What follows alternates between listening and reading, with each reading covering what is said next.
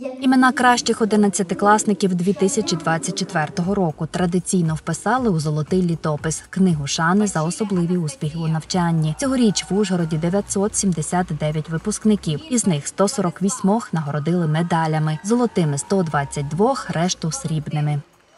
Для мене золота медаль це успіх в першій частині мого життя, успіх в навчанні і, напевно, гордість в першу чергу для самого себе за здобуті знання, за ті пройдені етапи в школі, які були на всьому шляху. Я рада, що маю срібну, тому що я знаю, на що я, а, на що я ну, свої сили приклала всі, що могла. Звичайно, могла, могло би бути краще, але зато срібно.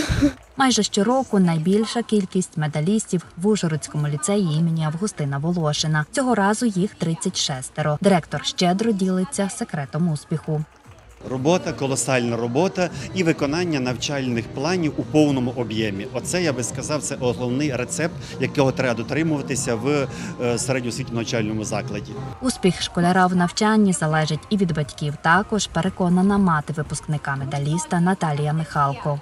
Підтримка батьків дуже важлива. Повинні працювати всі троє: і дитина, і батьки, і вчителі. Всі разом. Це дуже важливо. Треба мріяти, треба працювати, багато працювати, і тоді все вдасться. Ми його дуже контролювали, але і він був наполегливий, старанний, посадючий. Традиційно вручили грошові сертифікати 200-бальникам. Цього року з найвищим результатом склали НМТ 19 випускників шести ліцеїв Ужгорода. Грошову винагороду отримали також їхні вчителі. Ми передбачили з бюджету міської ради премію 50, 25 і в 10 тисяч гривень. Понад е, 50 дітей отримують грошові винагороди. Це для них такий, знаєте, буде перший, напевно, їхній заробіток, за, саме завдячуючи їхнім знанням. Також для того, щоб було знаєте, таке матеріальне заохочення вчителів, які підготували найкращих дітей, і для вчителів також будуть ці е, нагороди в вигляді грошових коштів, також з бюджету нашої міської ради.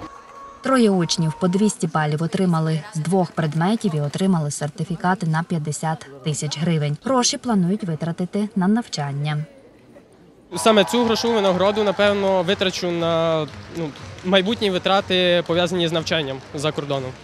Я, я не знаю, думаю, інвестувати в своє навчання подальше в університет та університетське життя. Пишається своїми учнями директорка ліцею номер 3 Світлана Фесенко. У них 13 медалістів. Троє учнів склало НМТ на 200 балів з англійської мови. Пані Світлана наголошує, їхні 200-бальники з репетиторами не займалися. Жоден з наших 200-бальників не займався додатково англійською мовою. Вони саме з англійською отримали по 200 балів. Я вам скажу чесно, якби наші учні були уважні на уроках, а уроки вчителі проводять добросовісно, то і репетиторів не потрібно було. А якщо учень сидить на уроці і думає, а у мене і так буде репетитор, от тоді він приносить певні проблеми своїм батькам. Випускники-медалісти планують продовжувати навчання у вищих навчальних закладах Ужгорода та в інших містах України. Багато з них подають документи за кордон. Е, Планую відень е, фах е, інформатика. Один мій друг е, йде також поступати за кордон. Мої знайомі, які набрали досить хороші бари- бали на НМТ, то вони успішно поступають на спеціальності, які вони бажали у нас в Україні. Я обрала професію економіста та хочу поступати до Львова. Я би хотіла пов'язати своє життя з журналістикою. Я хотіла би своє життя продовжити в Україні. Під час урочистостей наголосили, ці діти дійсно заслуговують на шану, бо здобували знання в непростих умовах війни.